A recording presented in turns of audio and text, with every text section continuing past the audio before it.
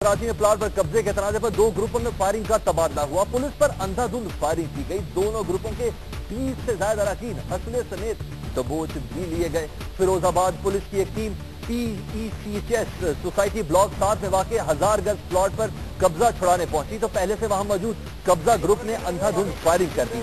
मुबैना तौर पर पुलिस के साथ एक बासर ग्रुप के कारिंदे भी मौजूद थे। तकरीबन आधे घंटे तक फायरिंग का तबादला जारी रहा, जिससे कोई नुकसान नहीं हुआ, लेकिन इलाके में खौफ हिरास फैल गया।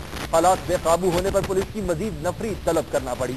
पुलिस ने दोनों ग्रुपों के 20 से ज़्यादा अफराद को गिरफ़्तार करके पाँच रिपीटर, दो क्लाशन गोप और चार टीडी पिस्तौल बरामद कर लिए।